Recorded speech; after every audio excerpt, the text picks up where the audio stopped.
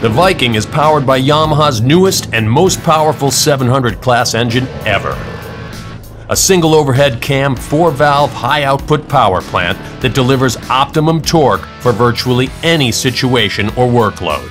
And plenty of horsepower when you want it, with a top speed to get you to the job site quickly, all while being more fuel efficient. On paper, the Polaris looks to be ahead with a little more displacement.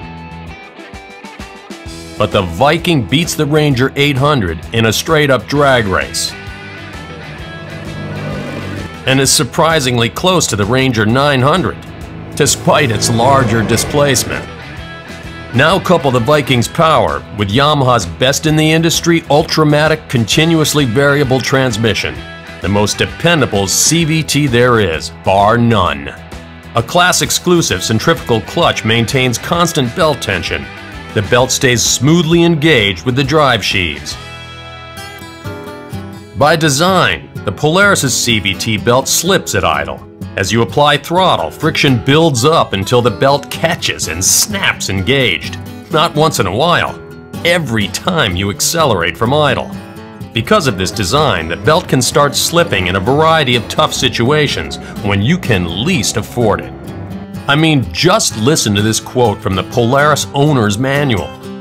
Always warm up the belt by operating below 30 miles per hour for one mile, 5 miles or more when temperature is below freezing.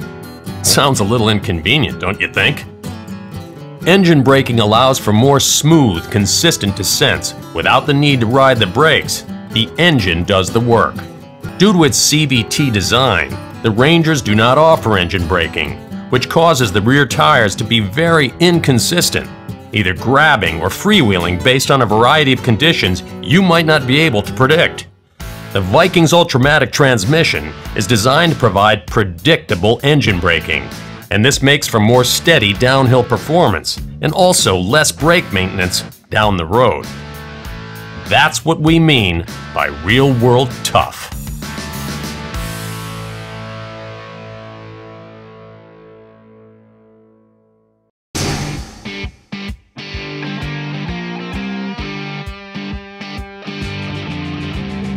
Whether you're on a remote job site or getting to an even more remote location after the work is done, you need a drive system that can take on any challenge. The Viking has you covered with Yamaha's exclusive on-command four-wheel drive system. Polaris's on-demand four-wheel drive system sounds similar, but when you get it out in the real world, you'll quickly see the difference between talking the talk and walking the walk. With the Viking, you get to choose two-wheel drive or four-wheel drive limited slip when you need even more traction in tough terrain. It's as easy as turning a dial. Same with the Polaris, except the rear wheels have to lose traction before the electromechanical four-wheel drive system kicks in and engages the front wheels. Not the most confident position when you're in a tough situation. Out there in the real world, when the going gets really rough, the Viking gives you the additional choice of selectable four-wheel differential lock. All four wheels pulling with maximum traction. You can't get that level of performance on any Polaris. And on the Viking, you get the same traction, forward or reverse. Now, would you rather have a machine that needs to lose traction before it can increase it? Or the freedom to select the perfect drive mode that you want and the confidence of knowing it's the best for any situation. When you're working hard, the last thing you want is a machine that makes you work even harder. The Viking goes where you tell it to, aided by the most precise steering in its class. The Ranger? Well, the first thing you're going to notice is there's a lot of free play in the Ranger's steering. You have to turn the wheel back and forth quite a bit just to maintain a straight line. And when turning, you'll be spinning that wheel a lot more every time you turn. And that can be a real pain, especially in tight situations. In fact, it takes only two and a half turns of the wheel to go from lock to lock on the Viking, while it takes three and a quarter turns on the Ranger 800. Now those are numbers that can really start to add up by the end of a long day. Plus, the Viking offers the added benefit of optional electric power steering, making it easier to maneuver the roughest terrain. The Rangers do offer this feature, but the Polaris system is on full blast all the time, so you're going to experience almost too much assist at medium and higher speeds. While the Viking system is speed sensitive, more assist at low speeds, and less as speeds increase. Ranger 800 XP's wheelbase is 76 inches. Ranger 900's wheelbase is slightly longer at 81 inches. Sounds pretty impressive. Until you compare it to the 84 inch wheelbase on the Viking, for more comfort and bump bridging capability. That long wheelbase helps create the roomiest vehicle in its class, with seating for three adults, not just a spot on the bench. The Ranger technically seats three, but try doing some heavy terrain with a full passenger load. I feel sorry for that guy in the middle with no handhold, no shoulder room, no three-point seatbelt, no headrest, no secure footrest or legroom.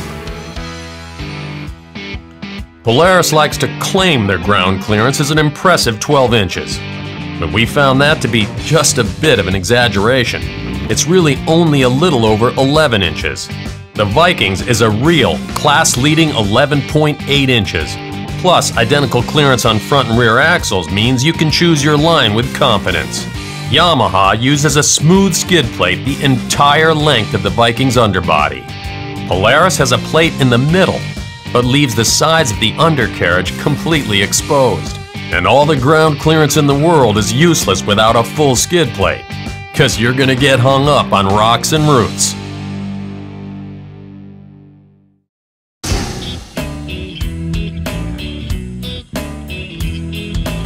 Polaris loves talking about the Ranger's 1,000 pound payload.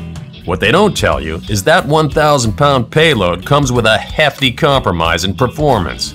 The vehicle may push when you try to steer it fully loaded. Also, you can't go more than 10 miles per hour, 5 if you're going up a grade, and you have to be in low range. The Viking, on the other hand, is rated to carry 600 pounds in the real world, more than you're likely to ever need. In fact, the average cargo load is considerably less. And unlike the Ranger, when the Viking is filled to its maximum capacity, it still handles with better ease and comfort. That's a number you can depend on. Both the Rangers and the Viking have a flatbed, so cargo easily slides in and out. But the Viking's high-capacity steel bed is the largest in its class. And in addition to being smaller, the Rangers, well, it's plastic. The Viking comes with cargo tie-down hooks that are just as rock solid as the bed. To cinch down a load on the Polaris 800, you'd need to wrap a strap all the way around the bed. And just look what happens to the bed when you tighten it. And then there's the track width. The Viking fits easily down 30-inch crop rows without running down the crops themselves. The Ranger's narrower track makes this much more challenging.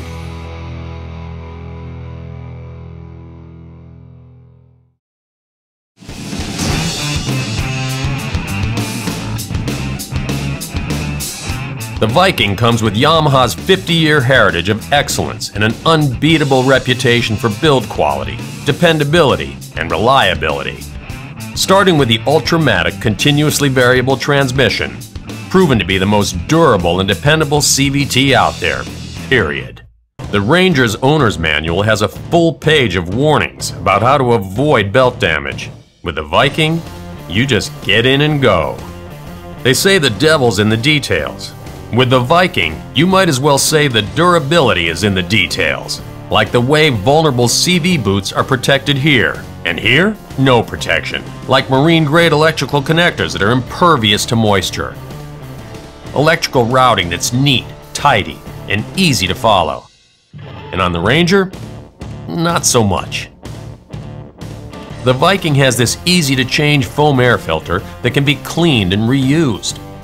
The Ranger a once and done paper filter. And if it gets wet, you're done. With its easy access engine placement under the cargo bed, when it's time to check and change oil, the Viking is simple and easy to access. Again, on the Ranger, not so much. Viking, it's real world tough, inside and out.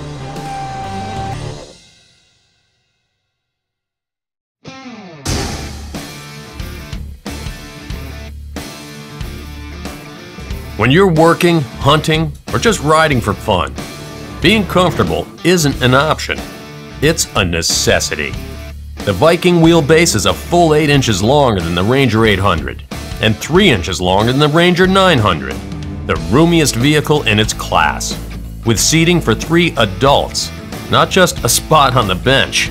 The Viking offers three individual seats with padded head restraints and plenty of legroom, plus an adjustable passenger handhold.